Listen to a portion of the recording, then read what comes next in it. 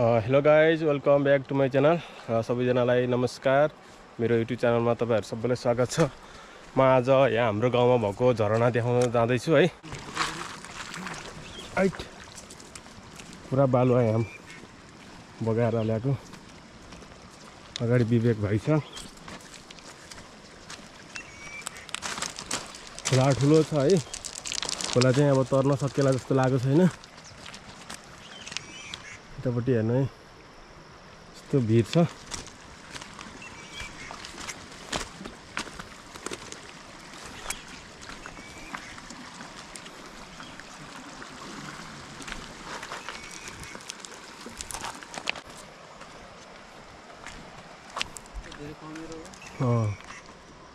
सबै कमेर अनि गिटी बालुवा रहेछ है।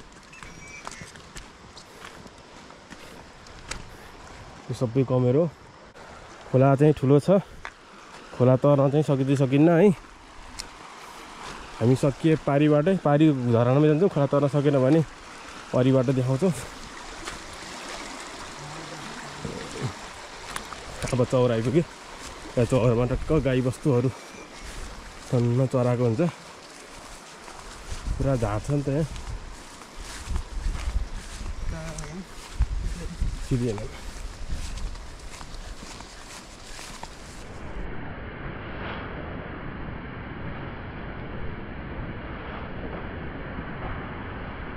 ल गाइज हामी चाहिँ यो झरनामा आइपुग्यौँ है। अब पारी चाहिँ तर्न गाह्रो छ खोला ठुलो रहेछ।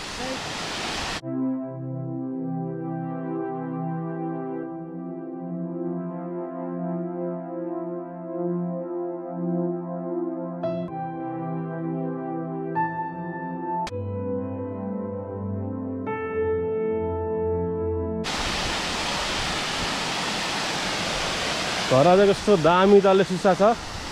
पानी पनि जस्तो सङ्लो छ है।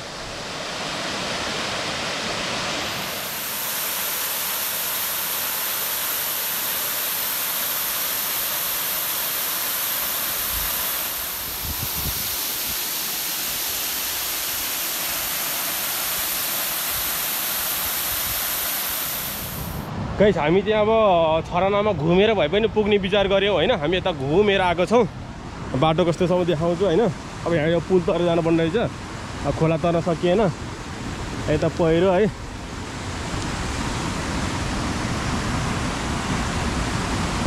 यहाँ यस्तो पुल रहेछ।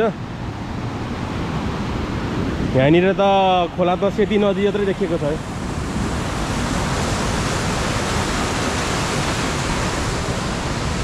अब हामी पुल तरेर भइ जान्छौँ। ल यहाँनिर चाहिँ घर राम्रो बन्दै रहेछ। यता तलपट्टि चाहिँ फर्म तलपट्टि फर्म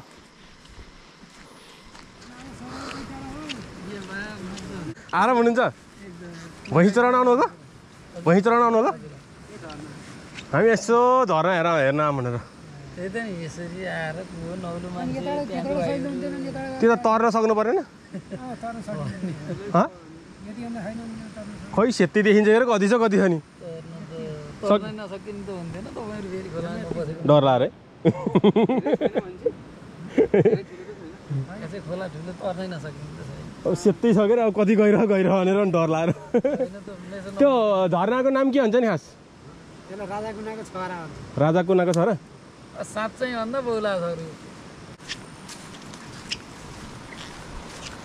विवेक कस्तो लाग्यो झरना आइपुग्दा एकदम रमाइलो लाग्छ धेरै बाटो खोजी हामीले। बाटो खोज्दा खोज्दै आएको होइन? अब हेर्नु है पसिना कस्तो पसिना आएको छ। अब चट्टै यता पछाडिपट्टि झरना छ होइन? हामी यहाँबाट पारीबाट पारी आउनको लागि यहाँबाट कम्तीमा नि दुई किलोमिटर हिँडेर गएर हामी फर्केर आएको है? शीतल आएको छ है हावा। चिसो पानी हेर्नु है गाई हाम्रो गाउँको छहरा। अँ,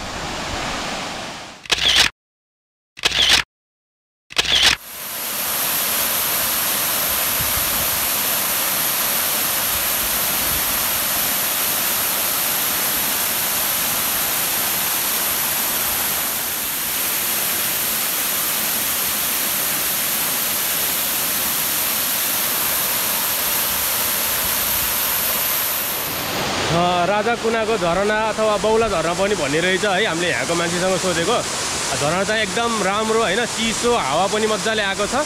झरनामा एकदम पानी पनि एकदम यहीँ खाए पनि हुने होइन एकदम सस्तो पानी रहेछ। माथि सर्लक्क खेतहरू छ होइन तपाईँहरूले ड्रोन सुट मार्फत हेर्न सक्नुहुन्छ होइन।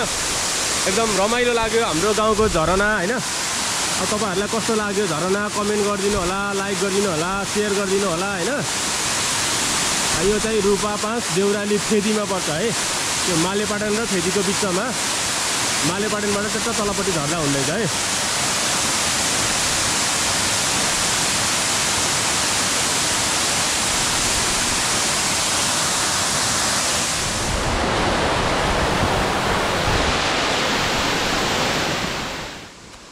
ल गाइज हामी चाहिँ झरना हेरेर फर्क्यौँ है। तपाईँहरू पनि हेर्न आउनु हुन्छ भने चाहिँ आउनु होला।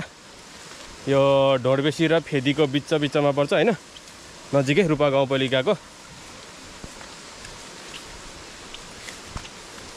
खोला चाहिँ ठुलो हुनाले हामीले तरिनौँ हामी फेरि बाटबाटै फर्किन्छौँ है त।